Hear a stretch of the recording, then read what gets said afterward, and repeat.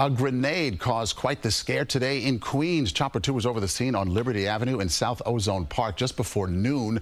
Police say they found a grenade in the bag that was left under elevated train tracks.